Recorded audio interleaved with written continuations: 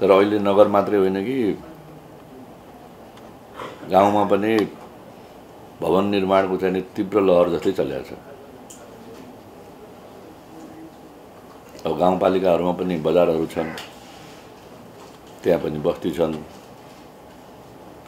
त्यहाँ पनि देश विदेशबाट घुमेर आएका युवाहरू छन्।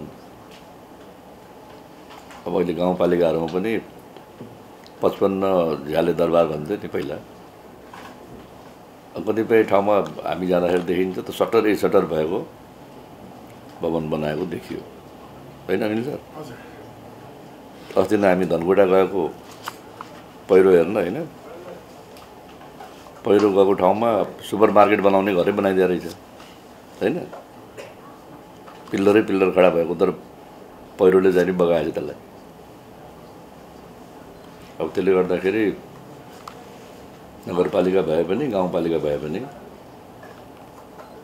अलि चोक चौराहामा जहाँ बजार बन्ने विस्तार हुने सम्भावना छ त्यहाँ चाहिँ नि ठुल्ठुलै भवनहरू बनाएको पनि देखियो। अब लगानीको हिसाबले आर्थिक उपार्जनको हिसाबले त्यो लगानीकर्ताको लगानी उठ्छ कि उठ्दैन त्यो आफ्नो ठाउँमा छ।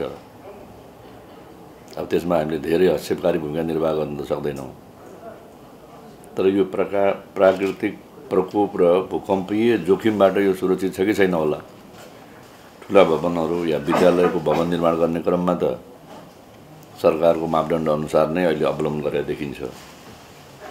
त्यस कारणले अब गाउँपालिकालाई पनि यो नगरपालिकाले अवलम्बन गर्ने मापदण्ड अवलम्बन गरिरहनु भएको भए ती गाउँपालिकालाई पनि धन्यवाद। गरिरहनु भएको छैन। त्यही गाउँपालिकाहरूलाई पनि भवन निर्माणको मापदण्ड अवलम्बन गर्नु उचित हुन्छ जस्तो लाग्छ मलाई चाहिँ। अब त्यसका लागि पनि सम्बन्धित निकायहरूले नेतृत्व गर्नुपर्ने र पहल गर्नुपर्ने देखिन्छ।